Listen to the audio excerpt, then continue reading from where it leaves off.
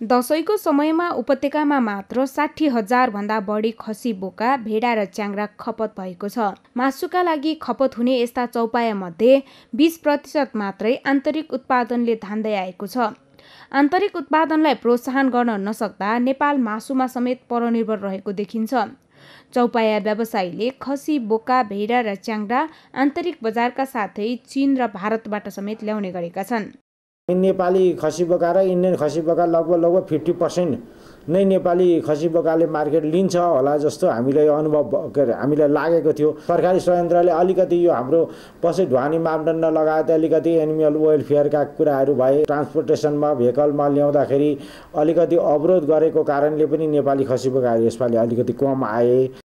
उपत्यकामा दसैँको अवधिमा करिब पचपन्न हजार खसी बोका र दस हजार भेडा च्याङ्रा खरिद बिक्री भएको छ। व्यवसायीले भारतको लखनऊ कर्नाटक लगायतका दस स्थानबाट पचासी प्रतिशत र मुलुकका सल्यान सुर्खेत उदयपुर चितवन रामेछाप नुवाकोट लगायतका जिल्लाबाट खसी बोका ल्याएका थिए। पछिल्लो समय उपत्यकामा नै विभिन्न स्थानमा साना बजार बनाई बिक्री वितरण सुरु गरिएकाले चौपाया खरिद बिक्रीको केन्द्र मानिने कलङ्की खसी बजारको कारोबारमा भने कमी आएको व्यवसायीहरूको दावी छ।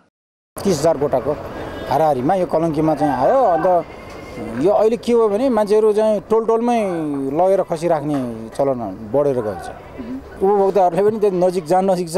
दुई चार सय पैसा बढी तिरेर भयो भने नजिकै सामान किनौँ भन्ने हिसाबले यसमा कलङ्कीमा चाहिँ एकदम कम व्यापार भयो यसपालि।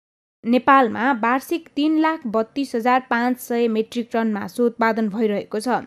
यो उत्पादनले नधानेर दसैँमा मात्रै व्यवसायीहरूले भारतबाट करिब साठी करोड रुपियाँका खसी बोका ल्याउने गरेका छन्। परनिर्भरता हटाउने सरकारी योजना प्रभावकारी हुन नसक्दा दसैँ तिहारमा मात्रै आधा अर्ब रुपियाँ भन्दा बढी रकम विदेशी गरेको छ। जानकारहरू भने पशुपालन तथा माछा मासुमा नेपाललाई आत्मनिर्भर बनाउन ब्याङ्कहरूलाई अनिवार्य गरिएको कृषि कर्जा कार्यान्वयन नभएसम्म समस्या आइरहने बताउँछन्। सगरमाथा टेलिभिजनका लागि क्यामेरामा रूपेश यादव र विकल श्रेष्ठका साथ सरस्वती बस्नेत काठमाडौँ।